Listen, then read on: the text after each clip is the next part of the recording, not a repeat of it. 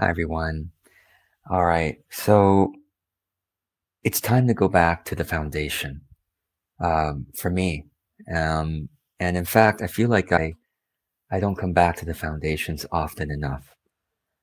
And I wonder, and I'm talking about spiritual foundations because life is complex, increasingly confusing with all the voices and issues in the world that we encounter on a regular basis, especially with social media.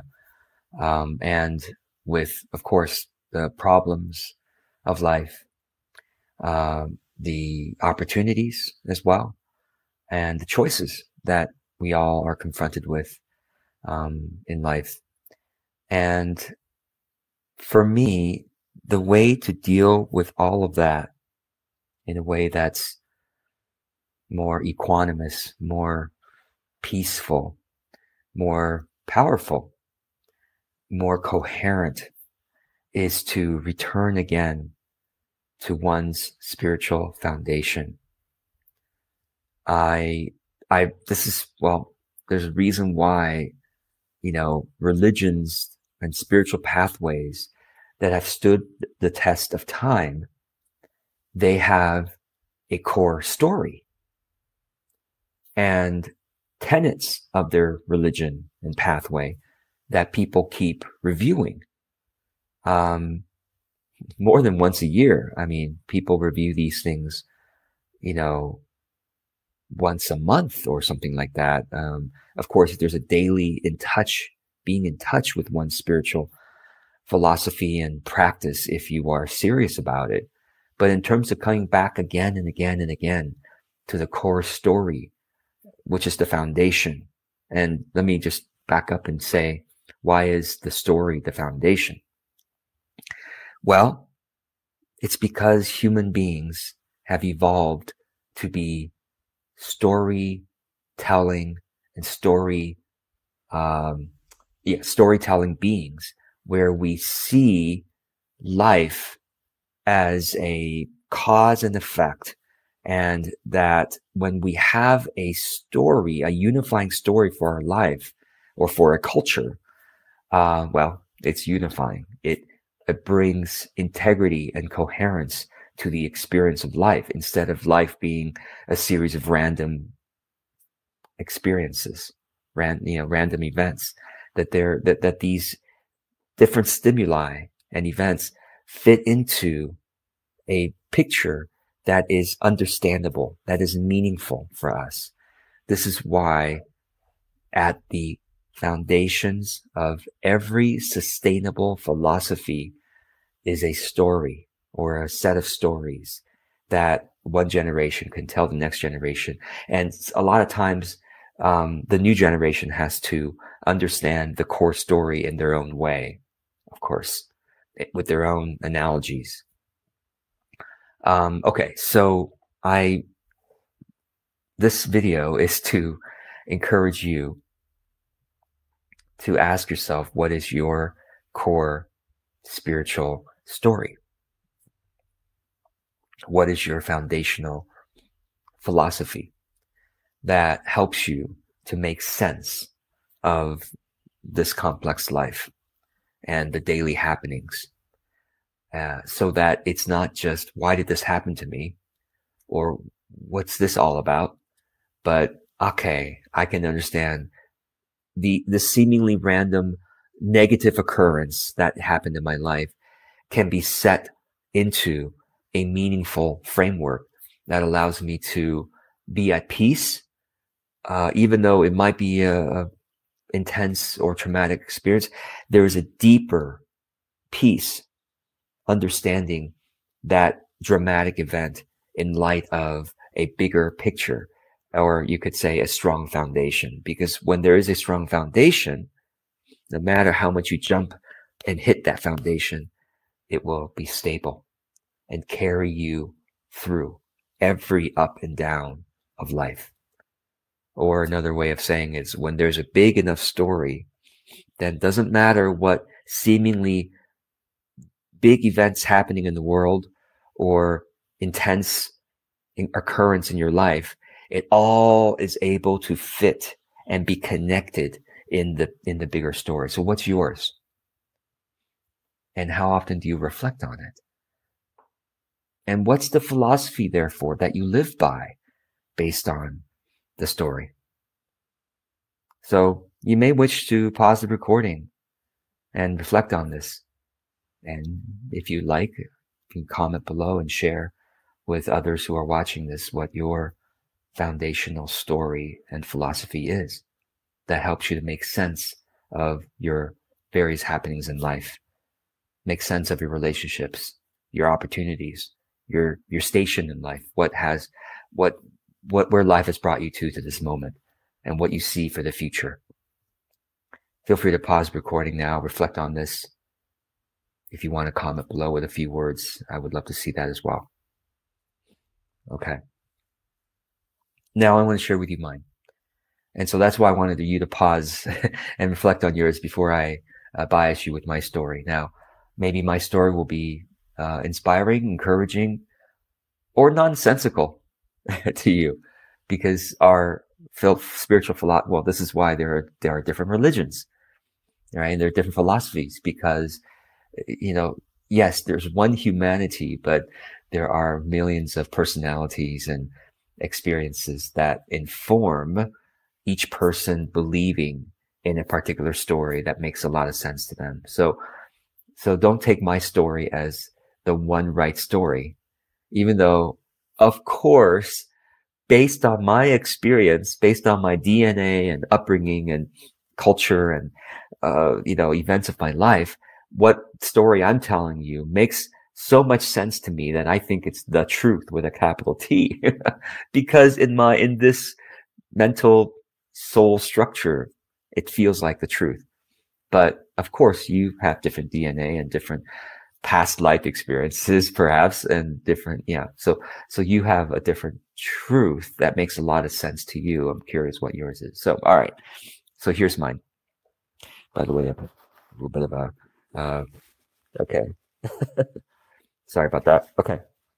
Here's mine. So I believe that there is a higher power. We'll start there. And I believe that this higher power, I call, I'm comfortable calling the higher power God, um, or ultimate consciousness.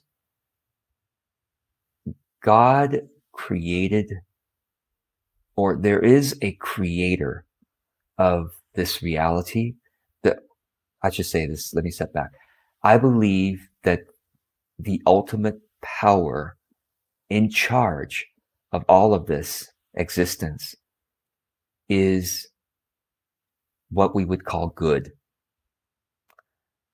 Ultimately, the ideal uh, example of love, of wisdom, of courage, of creativity, of compassion, of integrity, of um, joy.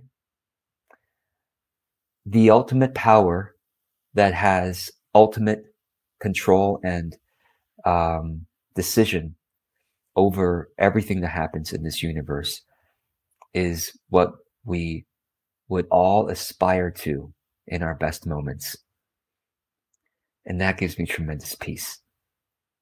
Um, because it's not, it's not to me, again, my, this is my story, right? I don't believe that there is a chaotic universe where random things happen and you can, you know, um, I was reading uh, some online discussion today and, um, the question was, what do you believe is true about life that many people do not accept? And it was sad for me to see that a lot of the comments are basically like, you can work hard and still lose in life. You know, bad things can still happen to good people. And no matter what you do, you still might end up, you know, in a bad place or whatever. And it's like, wow, that if that's the story that people hold on to about the truth of life that's uh it's very scary you know and it's sad and i i believe that not only is there this greater power but that our bodies will die obviously. Um, most of our bodies will die. Who knows with coming technology people might live forever. Who knows? But our our physical bodies will die but our consciousness does not. That's part of my overall story. Part of my truth is that our consciousness continues beyond the physical body into the next life and the next life and the next life. And that we choose what is going to happen generally, the themes of each life, because I believe that the, the higher power has designed games for us to play, designed experience, intense experiences in which we believe that, well, at least for this, for this game, we don't see what's beyond this game. We don't, that's why a lot of people don't believe in life after death. We can't see it and certainly cannot be sure of it. All we know is people die and they seem to be dead and uh, we that's what we believe we're going to be dead and this is the only experience and therefore that's why people are like well therefore if this is the only experience we have to win this game, right? Like I, I should be able to work, work diligently and do, be a good person and end up having a good life. And when that is not true, because we see the evidence that that's not true, seems like a lot of good people don't end up um, being having a good life. Then it's it's a very sad framework, and so I'm grateful that I deeply, deeply, profoundly believe that that this is not the only game we play, but that we play many games, and the games are to help the eternal soul, which I believe we are. Um, we we go game to game to game to game, and yet between games we get to reflect, learn from the previous game we played, and and enjoy and rest and recuperate and um, be creative and enjoy with our other soul companions and then we can decide, oh, I'm going to play another intense game and maybe forget who I am, and and uh, so that I can learn and grow and experience certain things that wouldn't be possible when I remember that I'm eternal and all powerful and and nothing can ever bad can ever happen to me. Okay, so that's my story, spiritual foundational story, and therefore and this is where I encourage you to go with your story is not, I mean, whatever story you come up with. It's not enough to have a story. I mean, it's, it's very helpful because then you could place all the, all the meaning of life in, in there. But it's also important to say, well, what framework does my story give me to live life? Like, how do you, in other words, what, what are my, what are my ethics? Based on my philosophy, what are therefore my ethics? What are the principles that I live by and need to reflect on consistently so that it's because it's so easy to stray. Right? It's so easy to stray because life is hard. This life is physically hard, emotionally hard, mentally hard. And so it's always, always like our bodies are always trying to trend towards what doing what's easy, doing what is convenient. And what is convenient and easy and pleasurable is often not what is connected deeply to our ethics. If we were to reflect on, again, our, our story, which leads to our deepest and most the ethics that we say, if I could live like this, it would make me deeply happy and deeply purposeful and coherent with my story. These are my ethics. But, and if you were living, if, if you, if every decision in your daily life, you think, well, that's a good decision. It's, then you're probably not living your ethics right? You're, you're probably not living to your ideal because that means you've already exhausted your potential. And I believe, uh, hopefully you believe as well, that your potential is greater than your current day to day living, which is fine. Your day to living is fine. It's just you can be even better. Better has to be tied to your ethical framework. So here are my, here's my ethical framework. I was reviewing things again today because I'm, I, I realized I had forgotten. It's so easy. And I talk about this in the various, you know, spiritual videos I, I make is like we have this daily amnesia. And I, I would say not, not more frequent than daily. I feel like we have this like every five minute amnesia. Like we just forget again and again and again what our spiritual story is and therefore what our ethics are, right? Like it's, it's easy to forget what the bigger picture is when you're so absorbed in just trying to solve today's problems and get through today and just survive and do whatever it is that you have to do today. And it's like easy to me. That's why I, I say it's like, a, it's a five minute amnesia. It's like you might return to your I, for me, energy reboot. That's why I do my energy reboot frequently throughout the day. It's like I return to it. I remember for the next few minutes. And then by the next time my energy reboot comes around, I've forgotten at least for several minutes what the, what this was all about. I'm so involved in whatever I'm doing. So again, what is your story? Let's get to reflect on that yet again. And to, and every time we reflect on our story, this is the tricky part. How can we, how can we keep our story alive and vibrant and like meaningful for us enough for us to like want to to live to live based on our story. Because if you just tell the same this is why for example people children who you know who grew up in a particular religion right? And it's like the religion like every year they have to do these rituals with their parents because that's part of the religion. Like eventually for a lot of children, it gets old. Literally. As they grow older, the, the, the old story and the rituals become meaningless because they just, they go through the motions. It's no longer alive for them. It's no longer fresh and, uh, therefore applicable to their, to their current life. And so that's why they move on from their religion from their childhood.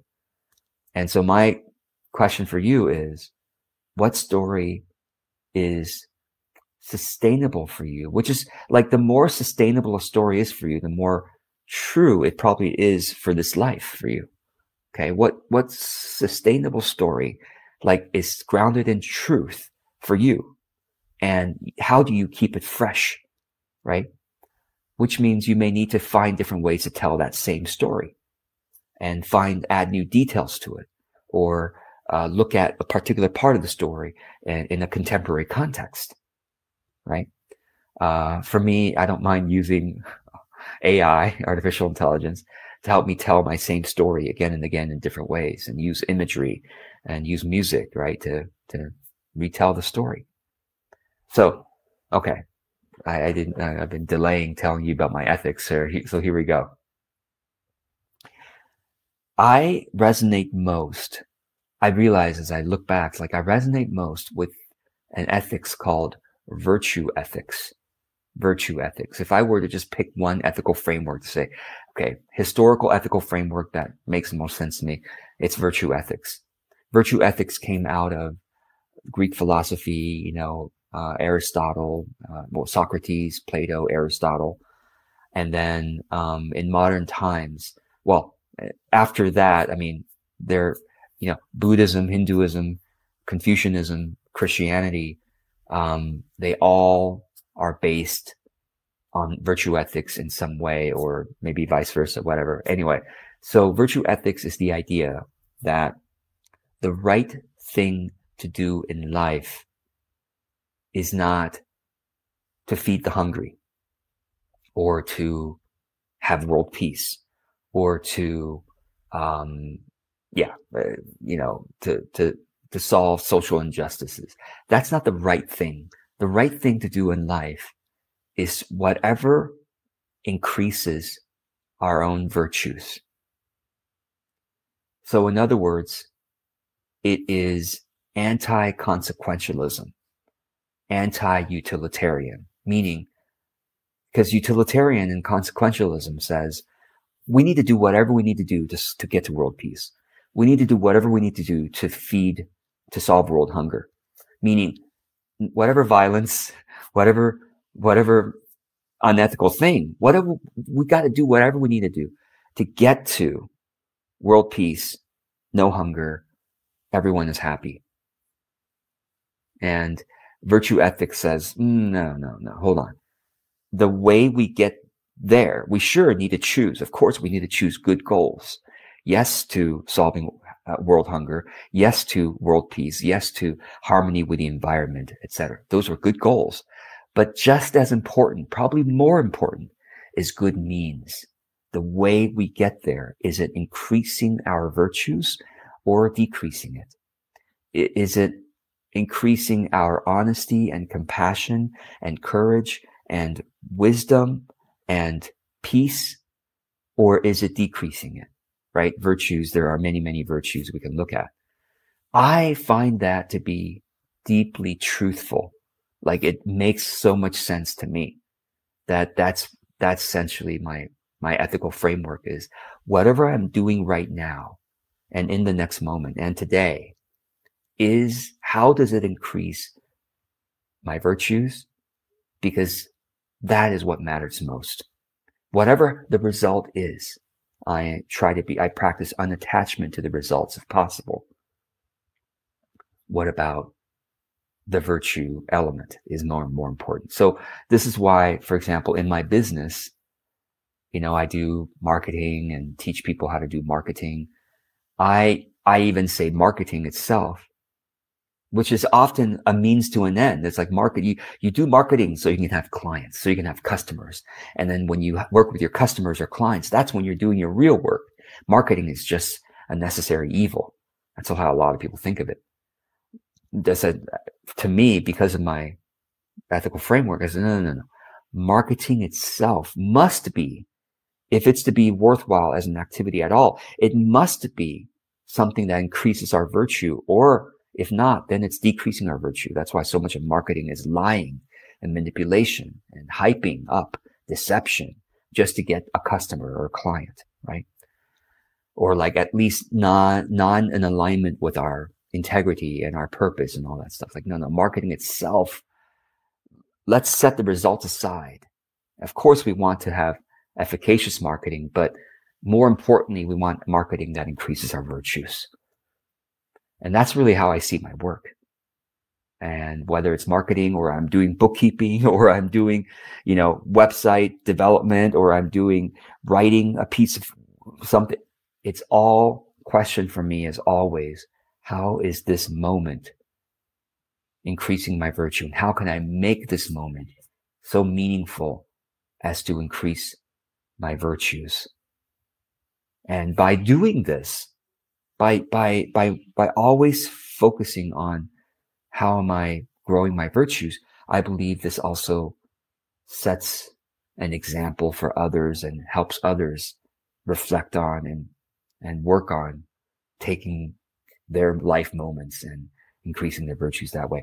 And and so this is what I believe. I, I believe that if if I keep working on virtues after this life is over, I will reflect back on this life. And so that that was a good game. That was worth living because I increased.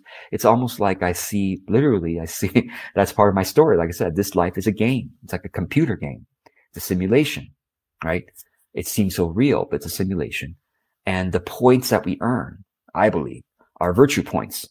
Are, did you grow in compassion? Did you grow in honesty? Did you grow in um, peace, peacefulness? Did you grow in courage? Did you grow in joy, joyfulness? Did you grow in um, you know, um, perseverance? Did you grow, you know, did you grow in gentleness? Right. Um, so anyway, that's, that's how I see things.